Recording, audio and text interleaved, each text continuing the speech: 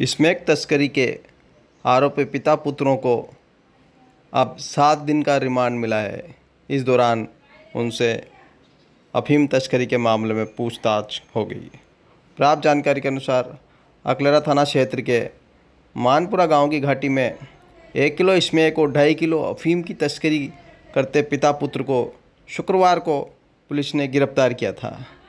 इस दौरान उनको न्यायालय में पेश करने पर सात दिन के रिमांड पर देने के आदेश मिले हैं।